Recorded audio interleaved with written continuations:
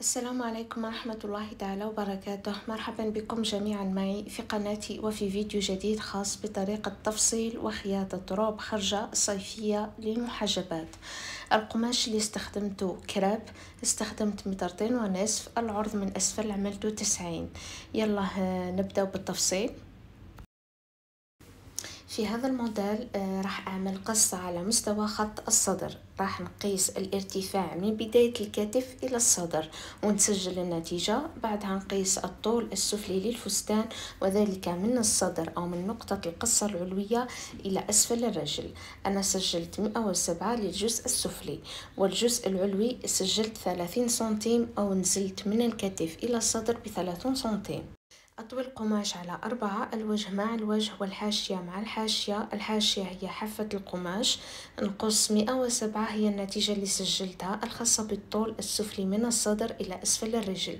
والعرض عملته تسعين سنتيم ثم نعدل القماش ونقص الحاشية بهذه الطريقة.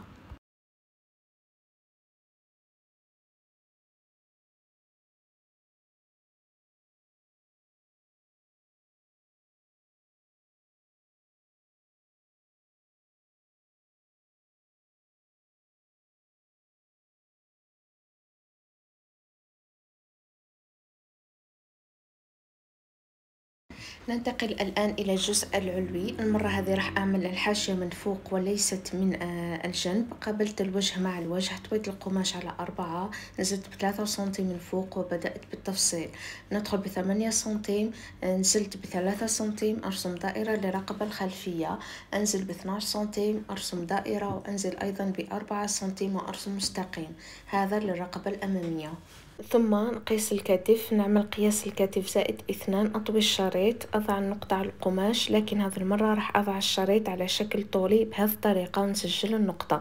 نقيس الطول من نهاية الكتف إلى النقطة التي أريد أن أعمل فيها خياطة في الذراع. هنا سجلت 12 سنتيم حددتها على القماش بهذا الشكل. بعدها أنتقل إلى العرض يتم قياس العرض من فوق عند القصة التي حددتها زائد 8 سنتيم للخياطة وأطوي الشريط ونسجل النتيجة. ثم أنزل من مستقيم الكتف ثلاثون سنتيم. هي الطول الذي تم قياسه بالشريط من بداية الكتف إلى خط الصدر. أرسم مستقيم ذو زاوية قائمة. نقيس محيط الصدر زائد ثمانية سنتيم. بما أنه فستان خرجة الزيادة ستكون ثمانية سنتيم. أطوي الشريط على أربعة. نحدد النقطة ثم أربط النقط بهذا الشكل. ونقص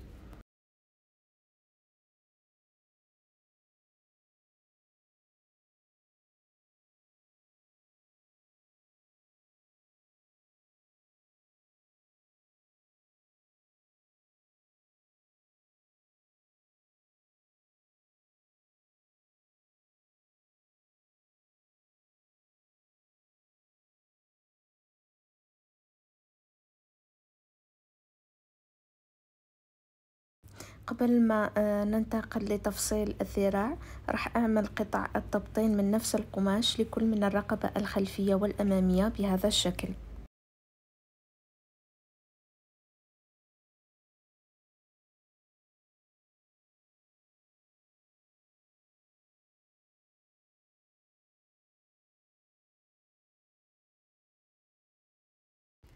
فيما يخص الذراع نقص قطعتين من القماش متساويتين أطوي كل منهما على اثنين أستعين بالإبر أضعها فوق بعض بعدها أضع قطعة الأمام نحدد منها عرض الذراع.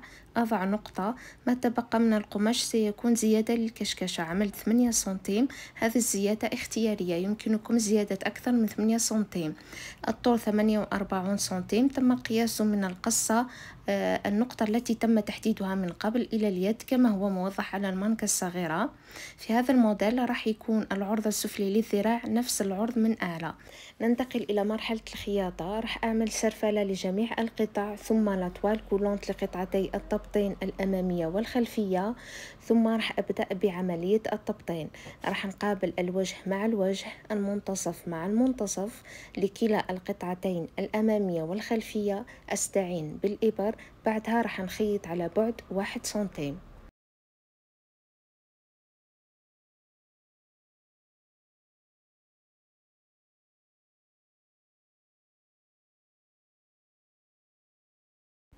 بعد الخياطة أعمل قصات صغيرة أستعين بالمكواة لتسهيل عملية القلب. هذا هو الشكل المتحصل عليه. أبدأ بخياطة الكتف. أقابل الوجه مع الوجه والخياطة مع الخياطة. البداية مع البداية. النهاية مع النهاية. نخيط على بعد واحد سنتيم على كلا الجهتين.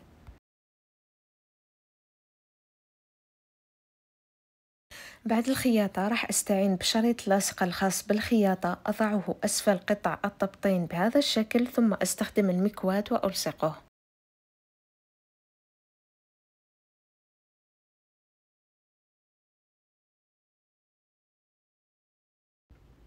هذا هو الشكل المتحصل عليه. أنتقل لخياطة الذراع. قبل ما نلصق قطعة الذراع راح أعملها كشكشة. راح نزيد في غرزة الماكينة آه نزيد فيها حتى الدرجة الأخيرة. ما نعملش في الخياطة عند البداية والنهاية بوان داغي يعني الخياطة نتركها مفتوحة ثم أسحب الخيط من كلا الجهتين بهذا الشكل. راح تتشكل لدينا كشكشة.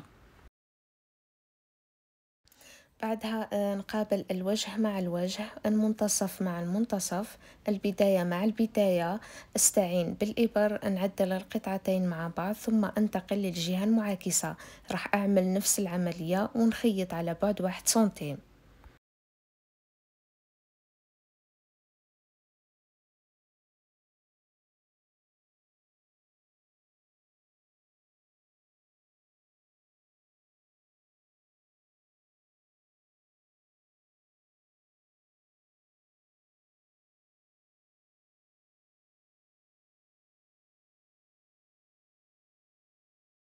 فيما يخص الجزء السفلي أعمل له أيضا كشكشة بالماكينة بنفس الطريقة نقابل الوجه مع الوجه المنتصف مع المنتصف البداية مع البداية نعدل القماش بالإبر بهذا الشكل أنتقل للجهة المعاكسة نفس العملية نقوم بها ثم نعدل القماش ونخيط على بعد واحد سنتيم.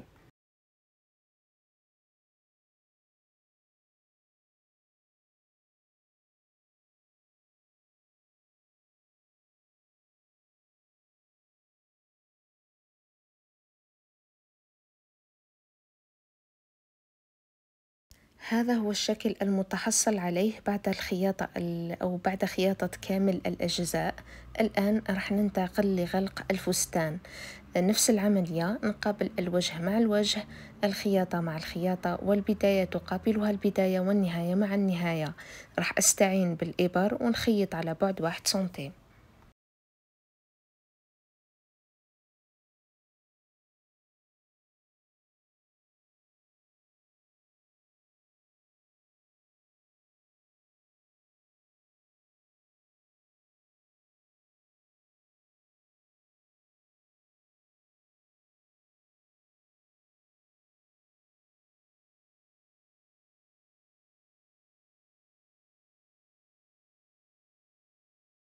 نفس العملية نقوم بها في الجهة المقابلة ثم أنتقل للمرحلة الأخيرة اللي هي الكفة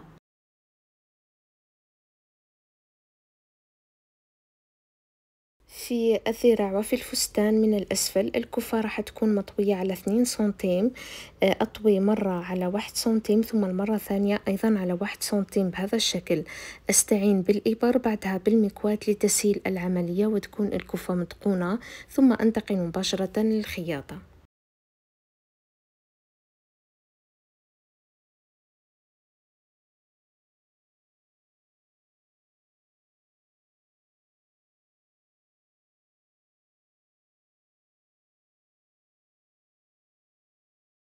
هذا هو الشكل النهائي للفستان الخاص بهذا الفيديو اللي كان طلب من طرف إحدى المتتبعات لهذه القناة.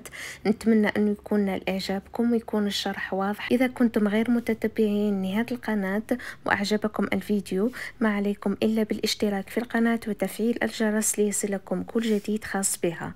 ما تبقى إلى أن أقول لكم إلى اللقاء في فيديو قادم إن شاء الله. والسلام عليكم.